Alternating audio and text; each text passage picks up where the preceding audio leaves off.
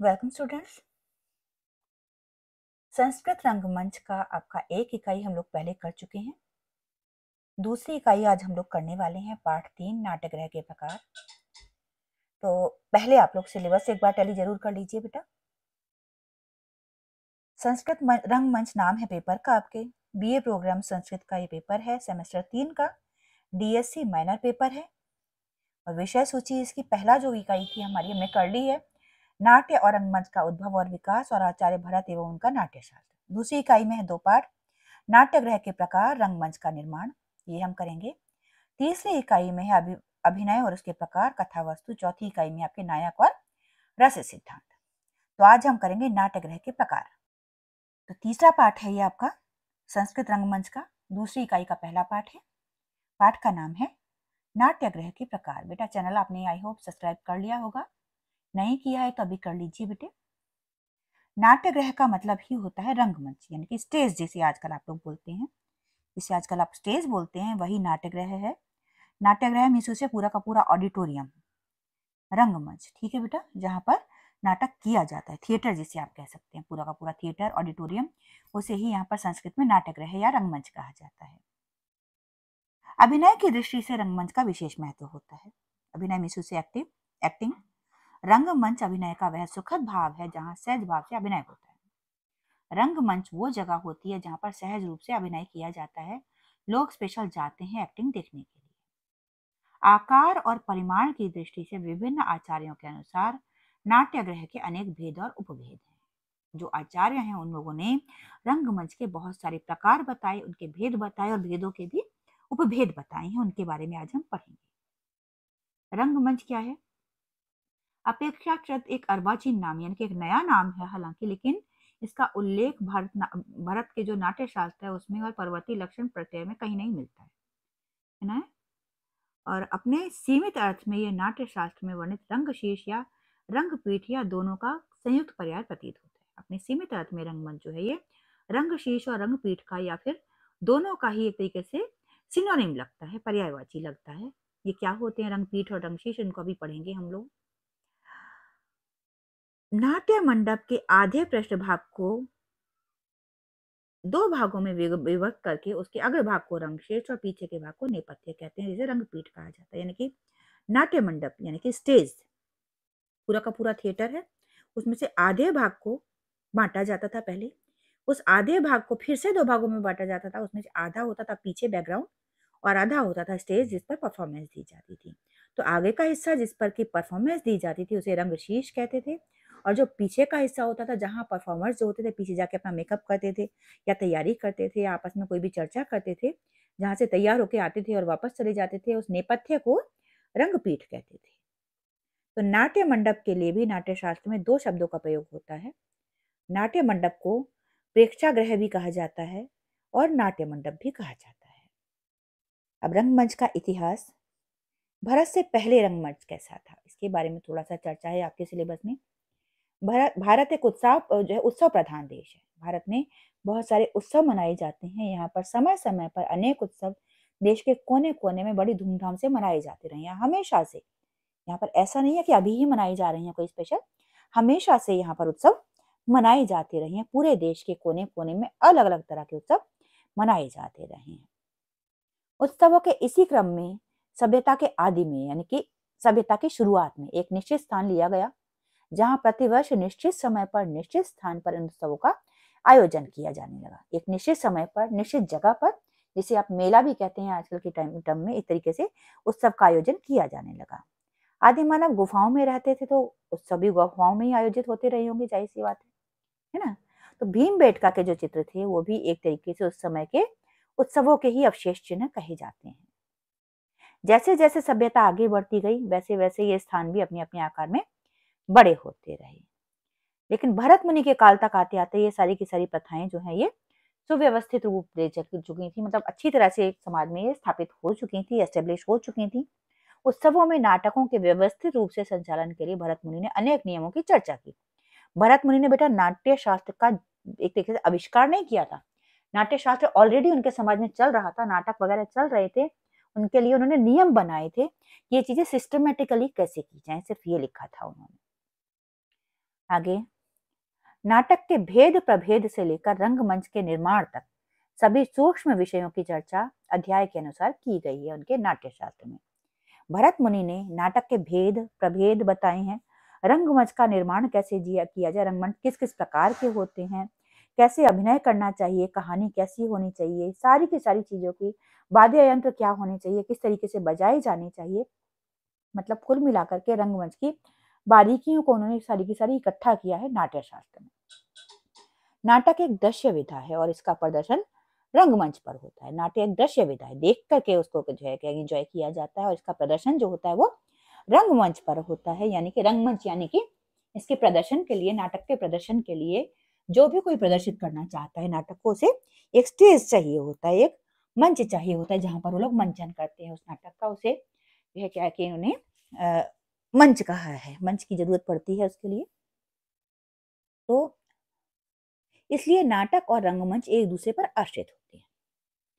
नाटक के बगैर रंगमंच का कोई वजूद नहीं है, रंगमंच की कोई वैल्यू नहीं है और नाटक बिना रंगमंच के खेला ही नहीं जा सकता। नाटक के अभाव में रंगमंच कुछ नहीं और रंगमंच के बिना नाटक कुछ नहीं है। अब नाटक के लिए रंगमंच एक आधारभूत तत्व है बेसिक एक नेसेसिटी है। नाटक कर आपने तैयार कर लिया, आपके पास रेडी है, लेकिन उसके लिए आपके पास स्टेज नहीं है तो आप कहाँ पर करेंगे, है ना? तो रंगमंच नाटक को प्राण तत्व देता है, रंगमंच नाटक की जान होता है। अगर आप कहीं भी देखें, कोई भी देखिए, अब कोई बच्चे रिहर्सल कर रहे हैं, किसी डांस की, किसी नाटक की रिहर्सल कर रहे हैं, कहीं किसी भी जगह पर कर रहे हैं वो तो उसमें जब वो फाइनल स्टेज पर जब परफॉर्मेंस देते हैं तो उसमें आपको देख करके एक अलग ही गेटअप दिखता है। पहले जो रिहर्सल कर रहे होते हैं, उसमें वो चीज़ नहीं होती है, क्योंकि स्टेज जो उनका जो स्टेज है, जो प्लेटफॉर्म है, वो मैटर करता है। नाट्य शास्त्र में रंगमंच को बहुत महत्व दिया गया है। नाट्य शास्त्र जो भरत मुनि ने लिखा था, उसमें रंगमंच को उन्होंने बहुत इंपॉर्टेंस दिया है। इसमें प्रयोग होने वाली सामग्री से लेकर इसकी बनावट तक के छोटे से छोटे बिंदु पर बहुत ही बारीकी से उन्होंने अनुसंधान किया है। बेटा पीडीएफ में जब कन्वर्ट करते हैं वर्ड को तो कई वर्ड्स ना फॉन्ट की वजह से इधर उधर हो जाते हैं। तो जो मैं बोल रही हूँ, उस पर आप ध्यान दीजिएगा, है ना? नाट्य प्रयोग के लिए प्रेक्षागृह और नाट्य मंडप की तरह रंगमंच शब्द का भी प्रयोग किया जाता है। यानी कि नाट्य प्रयोग के लिए जो प्रेक्षागृह है, जो नाट्य मंडप है, वही रंगमंच भी है। यह स्थान रंजन के मुख्य स्थल होने के कारण रंगमंच के नाम से जाना जाता है। यहाँ पर लोग मनोरंजन के लिए जाते हैं, अपनी एक तरह से रंग, एक तरह से रंजन के लिए जाते हैं, इसलिए इसको रंगमंच कहा जाता है। नाट्य के उद्देश्य में भी बताया गया है कि दुखी श्रांत शोकार्थ आदि व्यक्तियों के लिए विश्राम का स्थल है। ऐसा व्यक्ति जो दुखी है, जिसको शोक है, जो परेशान है, ऐसे व्यक्ति के लिए नाट्य जो है वो एक विश्राम का स्थल है, उसे यहाँ पर आकर के मन बहल जाता है। धार्मिक भावना के कारण ही रंगमंच अपने स्वरूप में आया। शुरुआत कहीं ना कहीं धर्म से जुड़ी हुई थी रंगमंच की। भारत के लोग चमत्कार पर विश्वास करते हैं, अतः चमत्कारी घटनाओं से ही नाट्य का विकास हुआ होगा, ऐसा माना जाता है। हालाँकि विश्वास किया जाता है कि वेदों की तरह ही नाट्य का जन्म भी ब्रह्मा के द्वारा ही हुआ है। ऐसा विश्वास किया जाता है कि जैसे वेदों की रचना ब्रह्मा ने की, ऐसे ही नाट्य की रचना भी ब्रह्मा के द्वारा ही की गई है। भारत में सबसे प्राचीन सभ्यता का परिचय सिंधु सभ्यता से मिलता है, जिसके अवशेष में कुछ मिट्टी के चेहरे वाले मुखौटे मिले हैं। सिंधु घाटी की सभ्यता में कुछ मुखौटे मिले हैं, मिट्टी के बने हुए, जिन पर दो सींग हैं। उनमें से एक सींग बैल का है, एक सींग भेड़ का है। तो अंदाज़ा लगाया जाता है कि सिंधु घाटी की जो सभ्यता थी, वहाँ के नगरों में भी नाटक का अभिनय किया जाता था और साथ ही वहाँ से नट नटी की कांसे की मूर्ति भी मिली है, जो कि इस बात को साबित करती है कि वहाँ पर भी नाट्य खेले जाते थे। तो ये हो गई भरत से पूर्व की सारी की सारी नाट्य, ठीक है? भरत से पहले की कि भाई सिंधु घाटी सभ्यता में हमें एविडेंसेस मिले हैं और वहाँ पर नट नटी की मूर्तियाँ भी मिली हैं भरत से पहले की हो गई। अब भरत का रंगमंच, भरत ने अपने नाट्य शास्त्र में नाट्य मंडप, उसके आकार प्रकार रंगपीठ रंगशीष नेपथ्य और मतवारिणी आदि का सूक्ष्म विवेचन किया। मतवारिणी क्या होता है, मैं भी आपको बताऊँगी। जो कोई भी स्टेज होता है, उसके ऊपर छोटी सी जो वॉल जैसी लगा दी जाती है डेकोरेशन के लिए, जिस पर कई बार आप देखते हैं कि उस नाटक का नाम वगैरह भी लिख देते हैं, वो मतवारिणी कही जाती है। जिससे अनुवाद, या अनुमान लगाया जा सकता है कि रंगमंच का विकास क्रम का आरंभ भारत में बहुत पहले ही हो चुका था। क्योंकि भरत ने तो ये बताया है कि नाट्य मंडप कैसा होना चाहिए, उसका आकार प्रकार कैसा होना चाहिए, रंग पीठ कैसी हो, रंग शीश कैसा हो, नेपथ्य कैसा हो, उन्होंने तो इन चीज़ों का विवेचन किया चीज़ों को बनाया नहीं है क्या है, ये नहीं बताया है।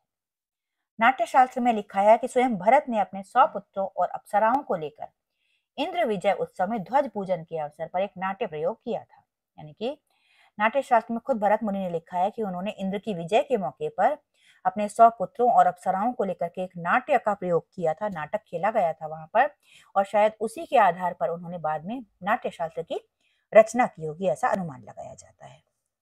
भरत के समय में दो प्रकार के मंडप बनाए जाते थे। एक तो थे शैल गुहाओं को तराश कर, शैल की पत्थर की गुफाओं को तराश कर और दूसरे खुले समतल स्थान में स्तंभों की रचना करके रंग मंडप या प्रेक्षागृह के चारों दीवारें वगैरह बना करके ये मंडप बस्तियों से दूर हुआ करते थे। गुफाओं में बनाए जाते थे। पत्थरों को काट करके। और दूसरे होते थे शिष्ट आर्यजनों के लिए, जो कि राजाओं के लिए खास तौर पर होते थे। राजप्रसाद ने राजमहल में मंदिर के साथ ही बनाए जाते थे, लेकिन उनके लिए भी भरत ने यह निर्देश दिया है कि उन्हें शैल गुहाकार और देवभूमि अर्थात द्विभूमि अर्थात दो धरातलों पर बनाया जाना चाहिए, यानी कि एक प्लेटफॉर्म उसमें ऊँचा हो, बाकी सारा का सारा नीचा हो, इस तरीके से बनाया जाना चाहिए वो प्लेटफॉर्म यहाँ के लिए भी उन्होंने यही निर्देश दिया है। आगे एक सीता बेंगा गुफा। इसका आपके यहाँ पूरी की पूरी केस स्टडी है, एक तरीके से ही आपके यहाँ सिलेबस में। तो इसको मैंने भी आपके लिए डिटेल में ले लिया है। शैल गुहा में सम्राट अशोक के अशोक के शासनकाल में निर्मित एक नाट्य मंडप का उदाहरण ईसा पूर्व तीसरी शती की सीता बंगा गुफा में पाया गया है। कहाँ पर है ये? शैल गुहा में। इसी के पास जोगीमारा गुफा भी है। ये गुफाएँ मध्य प्रदेश के सरगुजा ज़िले में है। दोनों की दोनों गुफाएँ कौन कौन सी? सीता बेंगा गुफा और जोगी मारा गुफा। जोगी मारा गुफा में प्राप्त लेख से पता चलता है कि इस गुफा में सूत्रो सुतनुका सुतनुका, यहाँ पर नाम है इसका, सुतनुका नाम की एक देवदासी रहा करती थी इस गुफा में, जो कि ये हमारी, जो जोगी मारा गुफा है, उससे एक लेख मिला है जो कि ब्राह्मी लिपि में लिखा हुआ है। उससे पता चलता है कि वहाँ पर सुतनुका नाम की एक देवदासी रहा करती थी। अंदाज़ा लगाया जाता है कि नर्तकियाँ जो थी वो पास ही तो अंदाज़ा ये लगाया जाता है कि वहाँ पर जो नर्तकियाँ थी, या कि डांसर जो थी, पास की नाट्यशाला में काम करने के बाद वहाँ पर रहा करती डॉक्टर जे बलाश ने archaeological survey of India report में इसका उल्लेख किया है, बताया है कि साथ में ये भी कहा है कि जो यहाँ के पास की जो नाट्यशाला थी, वो सीता बेंगा गुफा हो सकती है।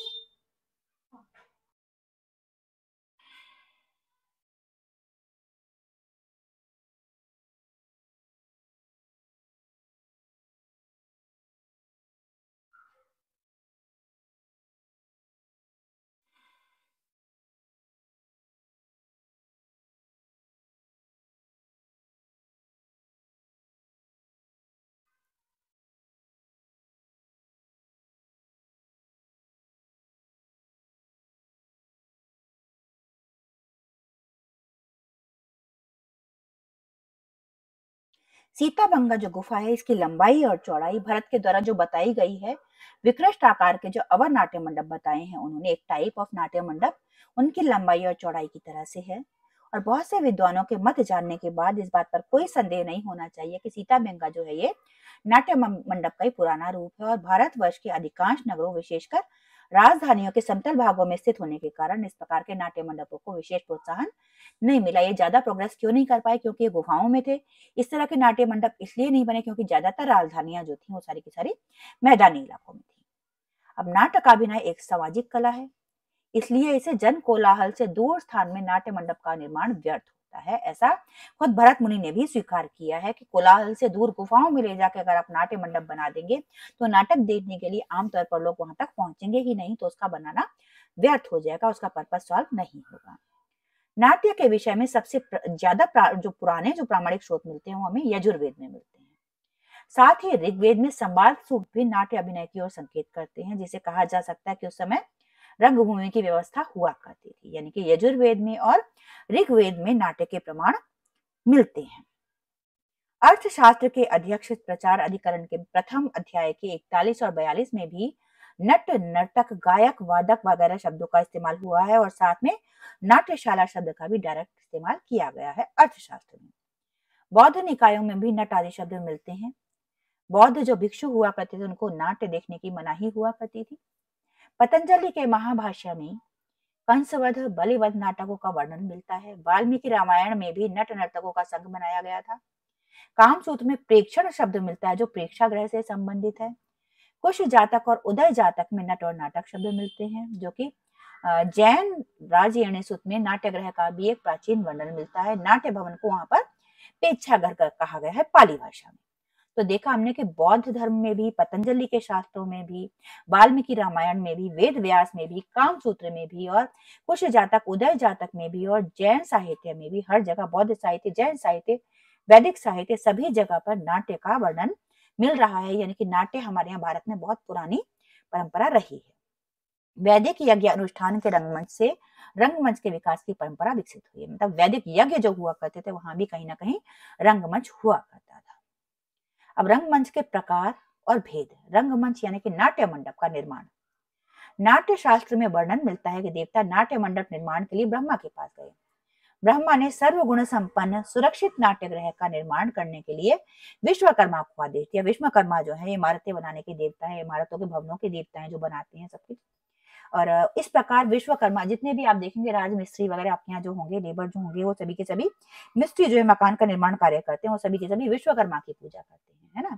तो उनके ये आदि तरह से ईश्वर है, उनके प्रभु हैं ये हमारे सभी के। तो इस प्रकार विश्वकर्मा ने सर्वगुण संपन्न और हर प्रकार से सुरक्षित नाट्य मंडप की स्थापना की। ये कहा जाता है कि नाट्य मंडप जो पहला बना था वो खुद विश्वकर्मा ने उसका निर्माण किया था।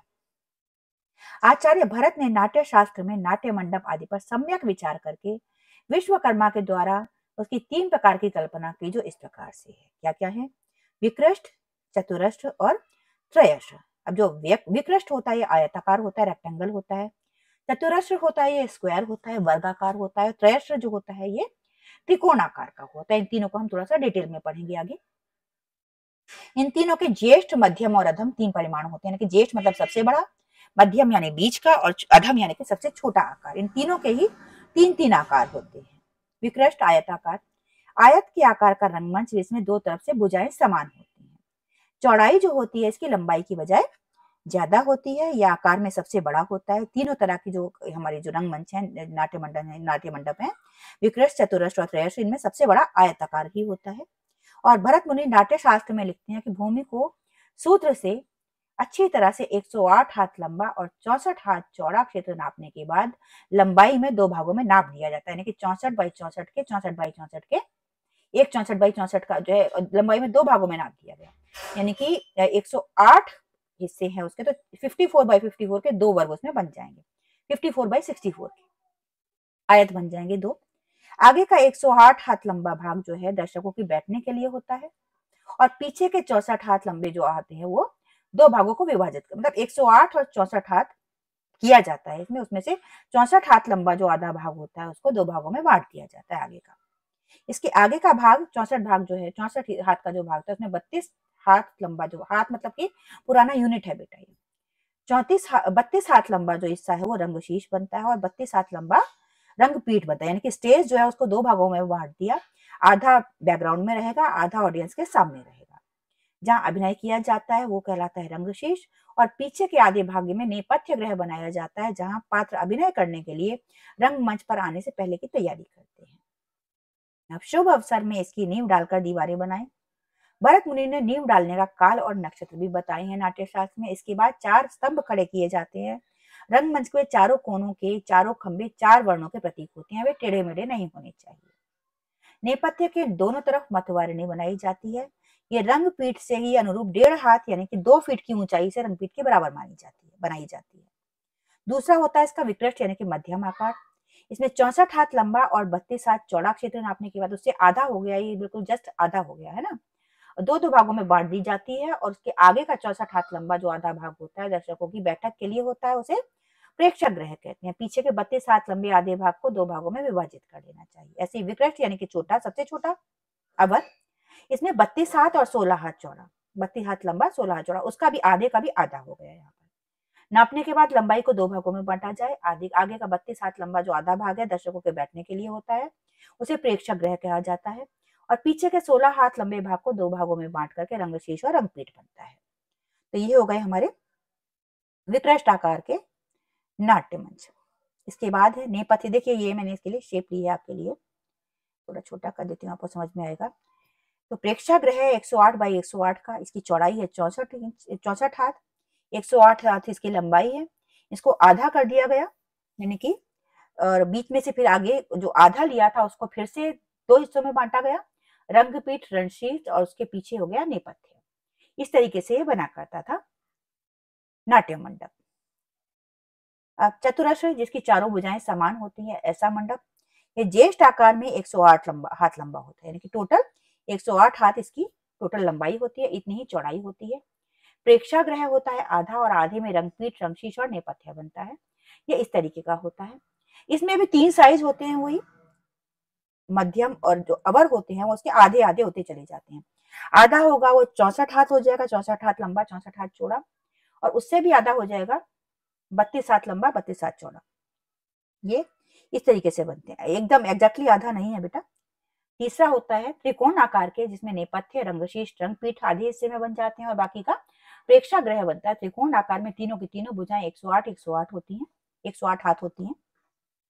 तो रंगमंच के 18 भेद हैं टोटल। कुछ आचार्यों के अनुसार हस्त परिमाण और दंड परिमाण को अलग अलग कहा गया है। यानी कि हाथ, एक हाथ अलग है उनके हिसाब से यूनिट और एक दंड अलग यूनिट है उनके हिसाब से, जैसे हम मीटर और किलोमीटर मानते हैं। इस तरीके से वो लोग दंड और हस्त को अलग अलग मानते हैं। तो नौ हो गए हस्त परिमाण के हिसाब से भेद और नौ हो गए दंड परिमाण के भेद, रंगमंच के। तो ये हो गए नाट्यग्रह के प्रकार। आयताकार हस्त परिमाण के हो गए तीन। हस्त परिमाण के ज्येष्ठ विकृष्ट, मध्य विकृष्ट और अव्यय विकृष्ट। अभय विकृष्ट तीस दूसरे हो गए। विकृष्ट आयाकार, आयताकार दंड परिमाण के हो गए। ज्येष्ठ विकृष्ट, मध्य विकृष्ट और अवर विकृष्ट। इसी तरीके से चतुरस्र जैन के जो वर्गाकार के हमने लिए थे हस्त परिमाण में हो गए। ज्येष्ठ चतुरस्र, मध्य चतुरस्र और अवर चतुरस्र।